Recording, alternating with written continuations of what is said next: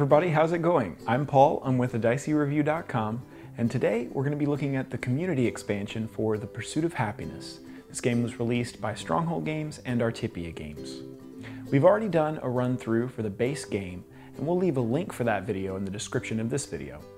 The community expansion comes with a number of new components, including 90 new cards, consisting of 48 community cards, 9 projects, 10 items and activities, 9 jobs, 3 new partners, 2 new life goals, 2 new child traits, and new player aids. The game comes with some new level indicators, and then new meeples and track indicators for the colors of the base game. The game comes with a new community board and the components for a fifth player. Now that we've looked at the new components, let's look at how to incorporate these components into setup. All of the new cards that relate to existing decks within the game can simply be shuffled in with those cards before playing. No extra step is needed with these cards. To incorporate the community board during setup, place the new community board near the playing area within easy reach of all players. Shuffle the stack of community cards and place them next to the community board. Place a marker in each of the player colors on the first space of the popularity track. Give each of the players a new community marker in their player color. Once all of this has been done, you're ready to start playing the game. The community expansion introduces a new type of card into the game, the community cards. These cards will depict various events that are happening in your community and allow you to interact with them. When you enter the first adult round of the game, Draw cards from the community stack and fill all the possible slots on the community board. The community expansion allows players to take a new action on their turn. On your turn, instead of performing one of the standard actions on the board, you can choose to engage. To engage with a community card, a player will take their community marker and place it on the card. If there is an engage cost when the player does this, they have to pay it when they place their marker on the card, and they will gain the Engage reward. In this instance, the player would gain one popularity. If a community card has the multiple player marker on the top left, more than one player can engage with this community card. When the new player engages, they will have to pay the engage cost and gain the engage reward, just like any other player. If a card doesn't have the multiple player marker on the top left, like this Sell Lemonade card, once a player engages with the card, it's blocked. It can't be engaged by any other players. Players are allowed to engage with more than one community card in a round by placing one of their time markers on a new card. A player is limited by their popularity level. For instance, the green player is on a space of the popularity track above the 2. That means that they can place up to two additional time markers this round on a community card if they want to. So all in all, the green player could engage in a total of three community cards. One for free with their community marker, and then two additional cards with their time markers because they are above the two on the popularity track. The gray player would be able to engage with one additional community card for a total of two cards in this round. At the end of the round, apply all of the normal end of round phase steps, but don't take back any of the hourglass markers that are placed on the community board. In this end of round phase, it was determined that the gray player will be the first player for the next round.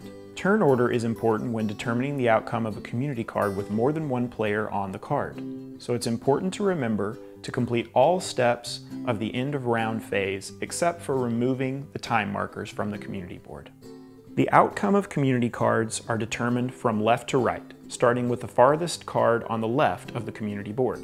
If a player is engaged with a community card, they get to select one of the possible outcomes, pay the cost, and then gain the corresponding reward.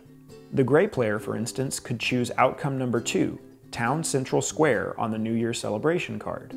To do this, the gray player would pay two influence, and then they would gain one creativity and one long-term happiness. After any player that has a marker on the card has chosen an outcome, the markers will be removed from the card, and the card will be discarded. When resolving a community card with more than one player marker on the card, the outcomes are resolved in player turn order. So in this instance, the gray player would get to choose which outcome they want to complete first.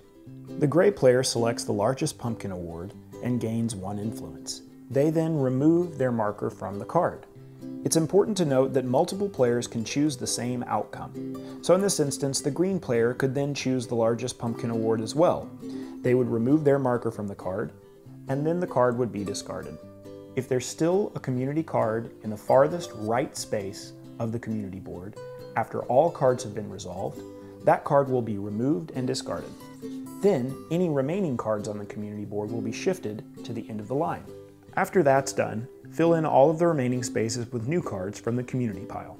One last thing to note about the community row is that the community row cannot be refreshed by spending short-term happiness. What's there has to stay there until the end of the round. Now that we've looked at the community board in detail, let's look at the new track, the popularity track. Players will move up and down on the popularity track by engaging with their community. They can gain or lose popularity depending on how they engage. Each space on the popularity track corresponds to a popularity score. For example, you can see the first three spaces after the starting position relate to the number 1. Being higher on the popularity track benefits a player in one of two different ways. One of the ways we've already discussed, it allows you to place more time markers and engage with more community cards during the round.